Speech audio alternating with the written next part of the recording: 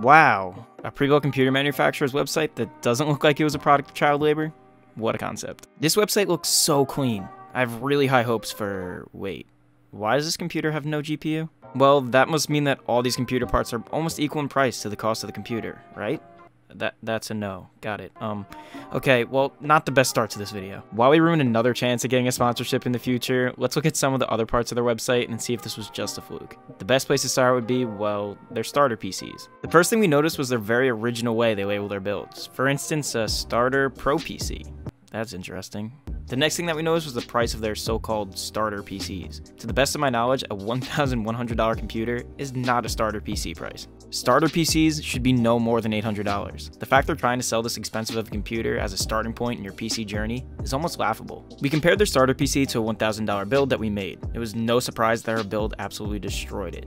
Wherever you look in this build, our parts are either equal or stronger, and our build costs $50 less. When you look a little closer, the biggest difference is the GPU. We know that the RX 6600 is not the most appealing card on the market, but when we tell you that it outperforms the RTX 3050 by an average of around 23% and costs the same amount, the RX 6600 starts to become a lot more appealing. With that mind-bending revelation, we can move on to the build kits. For a fair comparison, we are going to be comparing the price of the NZXT build kits with the ones from Light PC. Like we said in our Light PC scam video, the build kits are a great idea in theory. They allow the people to skip the long process of picking their parts for the build and let the customer focus on only building the system itself. But the premium you need to pay for them to pick out the parts for you is extremely unreasonable. These companies usually charge 100 to $200 to basically just give you the parts list and order it for you. Meanwhile, in the comments of our videos, we apparently do that for free, so either they're charging money for something that they shouldn't be, or we are owed a lot of money. But they are a business and they need to make a profit. So let's look into which one of them is shaking you down for more of your hard-earned money. First, NZXT Starter Pro Build Kit. Yes, we're back to the brilliant naming scheme this company chose. Their build highlights parts like the i5-10400 and the 3060 Ti, along with a bunch of reasonably strong parts to go with it. There's two major issues I have with these build kits. First off, why are they forcing you on a dead 10th gen platform as well as locking you in with only 500 watts of headroom for future upgrades, when even NVIDIA's website recommends a 600 watt power supply for the 3060 Ti. The Light PC Beta build kit is next. Their build sports a Ryzen 5 5600G and a GTX 1660. As well as NZXT, they surround the main components of this build with decent parts. Although Light did improve the power supply by 50 watts compared to NZXT. It's not still nearly enough of a big jump in wattage to make a reasonable difference, but putting them both against each other, it's pretty clear that NZXT is the winner.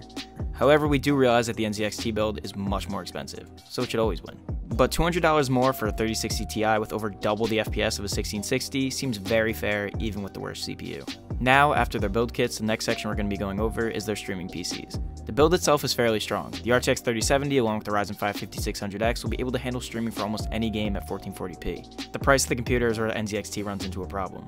The difference of building it yourself is almost $300. It's not even close to being worth it. With this big of a price difference, it would definitely be worth more to learn how to build a computer yourself. NZXT, similar to all the other pre-built manufacturers we have gone over, fails to make a reasonably priced PC.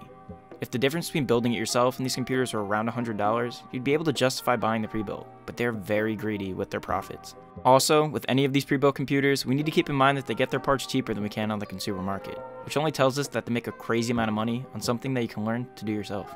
If you enjoyed, please consider liking this video and subscribing to our channel for future content.